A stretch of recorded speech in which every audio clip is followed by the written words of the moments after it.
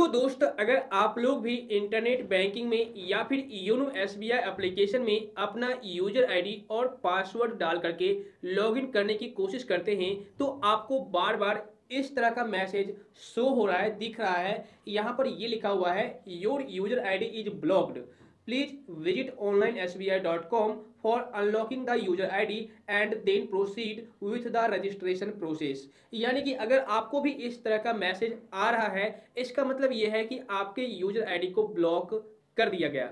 अब सवाल ये उठता है कि मेरा यूज़र आईडी ब्लॉक हो गया है, हम इसे अनब्लॉक कैसे करें? तो दोस्त, इस वीडियो को एंड तक देखना। इस वीडियो में मैं आपको सबसे पहले रीजन बताऊँगा कि आखिर में किस वजह से आपके यूज़र आईडी को ब्लॉक कर दिया जाता है। उसके बाद साथ ही साथ मैं इसका सॉल्यूशन भी बताऊँगा। ओके तो वीडियो में एंड तक बने रहना। अगर आपको इन्फॉर्मेशन सही लगे तो वीडियो को लाइक और शेयर करना मत भूलना। तो चलिए शुरू करते हैं। तो दोस्तों, सबसे पहले रीजन समझ लेते हैं कि आखिर में यूज़र आईडी ब्लॉक क्यों कर दिया जाता है। तो यहाँ पर मैं आपको जानकारी दे दूँ, अगर आप लोग अपने योनो एस अकाउंट में या फिर इंटरनेट बैंकिंग में यूज़र आईडी या फिर पासवर्ड या फिर यूज़र आईडी और पासवर्ड दोनों ही बार बार थ्री टाइम्स गलत इनपुट करके लॉगिन करने की कोशिश करते हैं।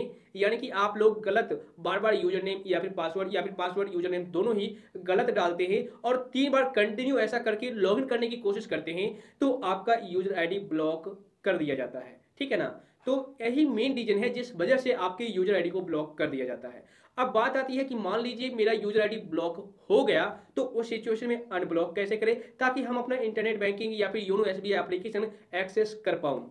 तो दोस्त, चलिए चलते हैं मोबाइल के स्क्रीन पर और वहीं पर मैं आपको सब कुछ लाइव करके दिखाने वाला हूँ। सो फ्रेंड्स यूज़र आईडी को अनब्लॉक करने के दो प्रोसेस हैं, दो मेथड हैं। एक तो आप योनो एस एप्लीकेशन के थ्रू भी अपना यूज़र आईडी अनब्लॉक कर पाएँगे और सेकेंड मेथड है क्रोम ब्राउज़र आप क्रोम ब्राउज़र का इस्तेमाल करके भी अनब्लॉक कर पाएँगे। तो अभी मैं आपको क्रोम ब्राउज़र के थ्रू ही करके दिखाऊँगा। ओके सबसे पहले आपको क्या करना है? अपने मोबाइल फ़ोन में क्रोम को ओपन कर लेना है। उसके बाद यहाँ पर आपको सर्च बार में टाइप करना है W W W dot online S B I dot com ठीक है? उसके बाद आपको सर्च कर लेना है। सर्च करने के बाद इस तरह का पेज दिखेगा, आपको रिफ्रेश करना है। उसके बाद यहाँ पर आपको एक ऑप्शन दिखेगा लॉगिन इस पर आपको क्लिक करना है। क्लिक करने के बाद यहाँ पर कंटिन्यू टू लॉगिन का ऑप्शन दिखेगा, इस पर भी आपको क्लिक करना है। अब यहाँ पर कुछ इस तरीके का पेज आएगा। यहाँ पर आप अपना यूज़र नेम और पासवर्ड और इस कैप्चा को डाल करके लॉगिन कर सकते हैं। लेकिन अभी आपका यूज़र आईडी ब्लॉक है तो आप नहीं कर पाएँगे। ओके तो आपको क्या करना है? यहाँ पर नीचे की तरफ़ स्क्रॉल डाउन करना है। ओके, यहाँ पर देखिए आपको एक ऑप्शन दिखेगा lock and unlock user red colour में आपको दिखेगा लॉक एंड अनलॉक यूज़र ठीक है तो आपको क्या करना है? इसी ऑप्शन पर क्लिक कर देना है। क्लिक करने के बाद नेक्स्ट पेज ओपन हो जाएगा कुछ इस तरीके से। अब यहाँ पर देखिए लिखा हुआ है सेलेक्ट लॉक और unlock user access select option है, इस पर क्लिक कीजिए। तो यहाँ पर आपको दो ऑप्शन दिखेगा। अगर आप अपना यूज़र आईडी लॉक करना चाहते हैं तो फ़र्स्ट वाला ऑप्शन चूज़ कर लीजिए। और अगर आपका ऑलरेडी लॉक हो चुका है और उसे आप अनलॉक करना चाहते हैं तो आप अनलॉक यूज़र एक्सेस पर क्लिक कर दीजिए यहाँ पर। क्लिक करने के बाद यहाँ पर सेलेक्ट हो जाएगा अनलॉक यूज़र एक्सेस और जो यूज़र आईडी आपका ब्लॉक हुआ है, वो यूज़र आईडी यानी कि यूज़र नेम इस बॉक्स में डाल दीजिए। यहाँ पर अकाउंट नंबर आप अपना डाल दीजिए और इस कैप्चा को इस बॉक्स में फिल कर दीजिए। उसके बाद यहाँ पर आपको कन्फर्म पर क्लिक कर देना है। तो देखिए, यहाँ पर मैंने पूरी तरह से फॉर्म को फिल कर दिया है और यहाँ पर कन्फर्म पर क्लिक करना है। क्लिक करने के बाद कुछ इस तरीके का पेज मेरे सामने आया है। आपके सामने कुछ अलग पेज आएगा यानी कि प्रोफ़ाइल पासवर्ड डालने का ऑप्शन आएगा। तो आप वहाँ पर क्या करना प्रोफ़ाइल पासवर्ड डाल देना।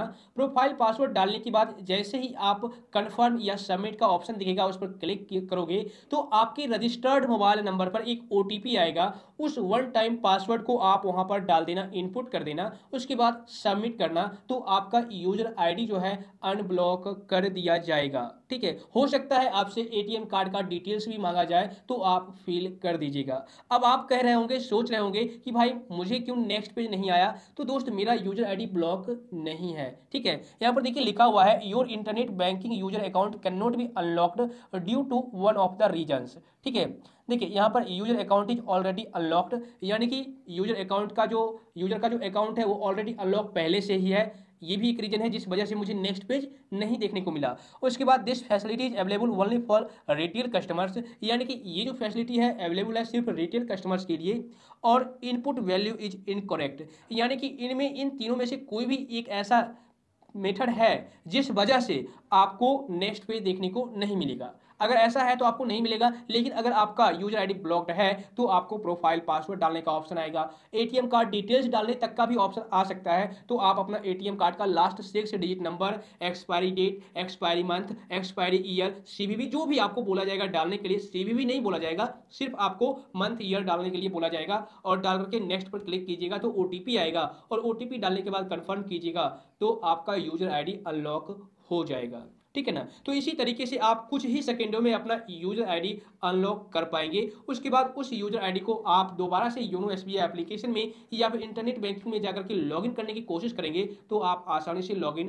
कर पाएँगे। मुझे उम्मीद है अब आप लोग अच्छी तरह से समझ गए होंगे। इसके बावजूद भी अगर आपको किसी भी प्रकार की समस्या आ रही है YONO S YONO lite, internet banking से रिलेटेड तो आप मुझे नीचे पूरी डिटेल के साथ कमेंट कर सकते हैं। तो आज बस इतना ही। आई होप फ्रेंड्स आज की यह वीडियो आपके लिए काफ़ी ज़्यादा इन्फॉर्मेटिव प्लस हेल्पफुल हुई होगी। वीडियो अगर पसंद आई तो वीडियो के नीचे लाइक का बटन है, उसे ज़रूर दबा देना और इस वीडियो को अपने फ्रेंड सर्कल में ज़रूर से ज़रूर शेयर करना। तो फिर मिलता हूँ आपसे, फिर से किसी नेक्स्ट प्लस हेल्पफुल कंटेंट के साथ। तब तक के लिए बाय बाय